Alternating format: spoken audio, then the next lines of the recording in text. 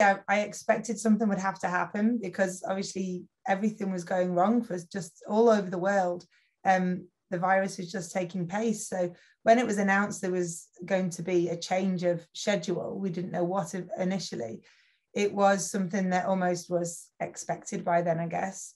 Um, and it gave me a chance to sort of take my foot off the gas in terms of the preparations I was in the very middle of um, at that point last March. Um, and then as we started to get closer to events coming back for me, my only my first event to travel abroad to was in in June this year. So there was a long time to build up, but I made good use of uh, online racing.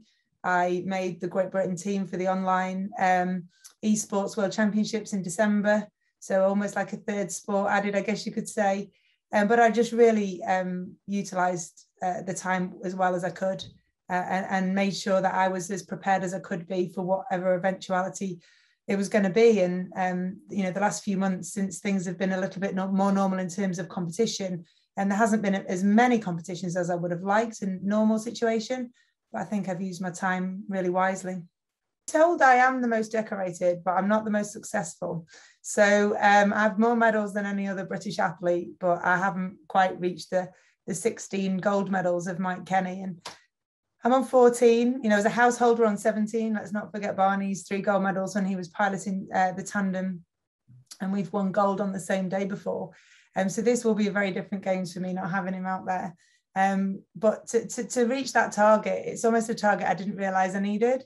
Um, but it's so close now. And it's really, really exciting to think that this opportunity gives me that chance um, to take it. Biggest motivating factor is really to be the best version of me, to be to be able to produce my very best performances, um, but to be able to come out of it with some additional successes, as you could say, is obviously hugely motivating in one sense, but it's certainly not the only thing that you focus on. And I'm very process driven, very analytical, and and try and make sure that there's there's never a stone unturned in making sure that I've been meticulous with um, all elements of my preparations and, and everything that you do on a race day is about the preparation that you've done before. So I know that I'll have um, worked harder and done absolutely everything to the nth degree and rehearsed and rehearsed um, to make sure that I produce the very best performance that I can. So hopefully the outcome then can take care of itself. I think I've always been a real competitive person. Um, I've always really enjoyed challenging myself to do better um, not just in sport, but in other things as well. And um, I've always just really enjoyed that opportunity to prove to myself that the work I've been putting in is is going to pay off. And you know, performance is a big, huge jigsaw puzzle from my perspective. Each piece of that jigsaw puzzle slots together over time, um, and the final piece of the jigsaw puzzle um, is hopefully there on race day. And if it isn't, then you save that piece and put it back in that picture another time. So for, for me, it's um, it's always been that big jigsaw puzzle. And my parents taught me always to focus on my own performances, um, always to make sure I was beating my own personal best times.